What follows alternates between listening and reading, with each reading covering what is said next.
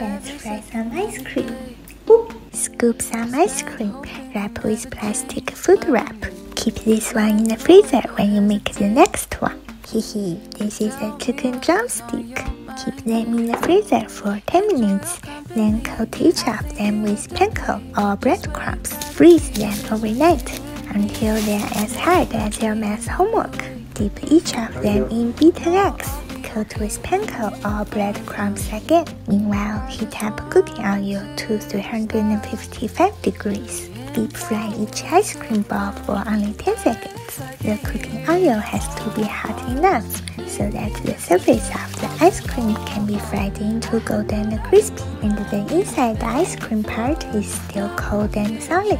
This recipe could be a lifesaver if your husband or kids don't like ice cream.